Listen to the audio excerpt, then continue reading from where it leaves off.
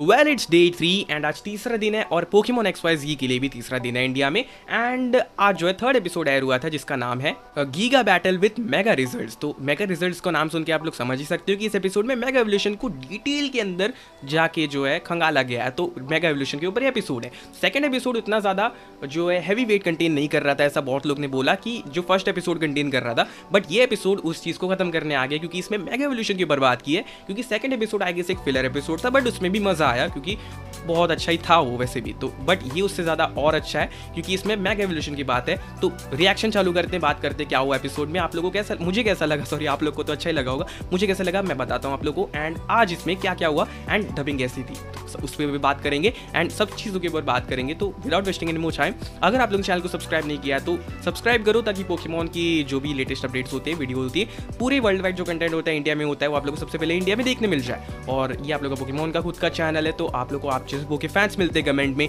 और साथ में अगर आप मेरे से जुड़ना चाहते हो और अच्छे से तो इंस्टा पे आ जाओ at the rate anime dot I है, जाके फॉलो कर लो और बात कर सकते हो मेरे से, मैं आप लोग से डेफिनेटली बात करूँगा।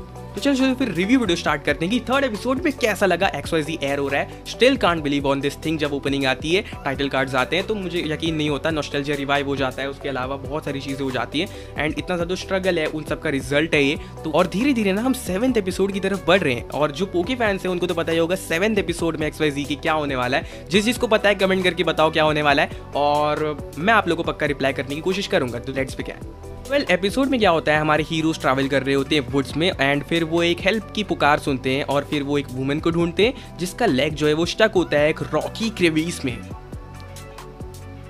और उसको वो फ्री करने में कामयाब हो जाते हैं फिर वो उन्हें दिखाती है मेगा स्टोन जिसके बारे में वो सर्च कर रही थी। बाद में पता चलता है ये तो ब्रॉक की बंदी यानी कि नर्स जॉय है जो कि बिना ब्रॉक के यहाँ पे सर्वाइव कर रही है।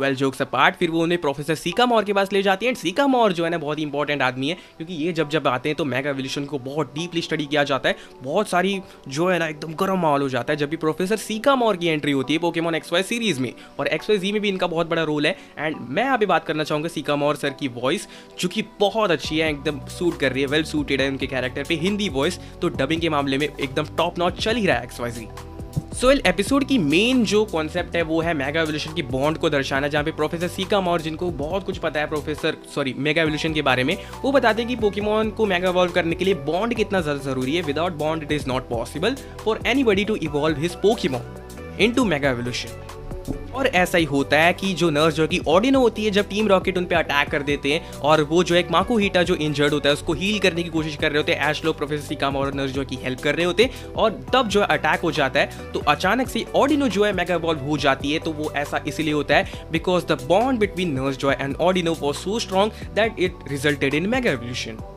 और मेगा ऑडिनो टीम रॉकेट को एक बार फिर से हरा देती है। तो वेल इस एपिसोड में मेगा एवोल्यूशन के ऊपर बात थी, हम लोग को और डिटेल्स पता चली और धीरे धीरे ना बॉन्ड एवोल्यूशन की तरफ़ जा रहा है। तो उसके बारे में ज़्यादा बात नहीं करूँगा। आप लोग को मैंने कमेंट करने बोला है उस एपिसोड के बारे में क्या होने वाला है। तो मेगा एवोल्यूशन का बॉन्ड जो है बॉन्ड एवोल्यूशन का बॉन्ड जो है, वो सिमिलर है kind of but bond evolution थोड़ा ज़्यादा अच्छा लगता है compare to mega evolution Ash वाला। एंड फिर प्रोफेसर सिकामोर की मुलाकात होती है जायगार्ड के सेल यानी कि स्क्विशी से एंड वो कन्फेस करते हैं कि मैं जानता ही नहीं कि क्या चीज़ है। मुझे नहीं पता, मैं इसको पहली बार देख रहा हूँ। मतलब स्क्विशी क्या चीज़ है, उनको अभी भी क्लियर नहीं है। अगर वो जायगार्ड को देखते तो शायद समझ पाते, क्योंकि स्क्विशी की ना तो एंट्री पोके डेक्स में, वो एक अननोन स्पीशीज़ है अभी के हिसाब से एंड आगे जाके उसका बहुत बड़ा रोल होने वाला है। तो इसलिए एपिसोड के साथ बने रहो। लेटेस्ट एपिसोड देखो बारह बजे सुपर हंगामा पे पोकेमोन एक्सवाइज के एंड कंसिस्टेंट रहो ताकि आप लोग को स्टोरी कवर अप करने में आसानी हो। बाकी मैं तो हूँ, यहाँ पे आप लोग को समझाता हूँ हर एपिसोड के बारे में, आगे बात करते हैं हम लोग तो इसलिए सब्सक्राइब करके बेलाइकन ऑन कर देना।